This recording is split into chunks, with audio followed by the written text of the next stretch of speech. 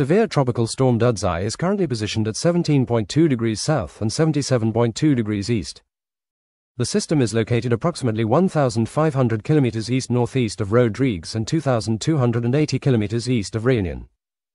Currently, Dudzai is maintaining estimated maximum sustained winds of 110 km per hour with gusts reaching 155 km per hour and a central pressure of 982 hectopascals.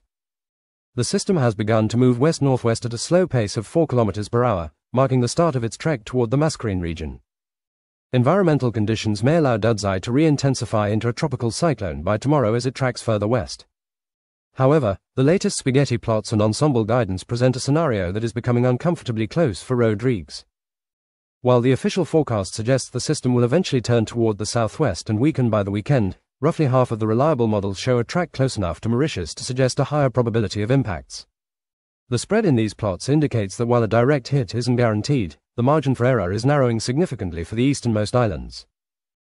There is a reasonable chance that Dudzai will weaken back to a severe tropical storm or even a moderate tropical storm by the time it reaches the longitude of the islands. This weakening would be driven by internal structural changes and potential dry air entrainment, which could result in much more minimal impacts than currently feared. If this trend holds, the islands might only see peripheral effects such as increased cloud cover and moderate swells rather than destructive winds. At this stage, no cyclone alerts are in effect for Réunion, and no direct influence is expected for those specific areas within the next five days. However, the situation for Rodrigues is more sensitive. A deterioration in weather conditions cannot be ruled out as the system approaches from the east this weekend. We are watching this closely, and as the steering currents become better defined over the next 24 hours, we will have a much clearer understanding of whether the close shave or the weakening scenario is more likely to play out.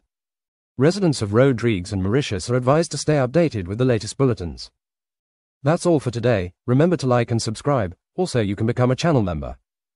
By doing this, you can watch videos like this week's before they are published, and much more. Thank you for the support. See you in tomorrow's update.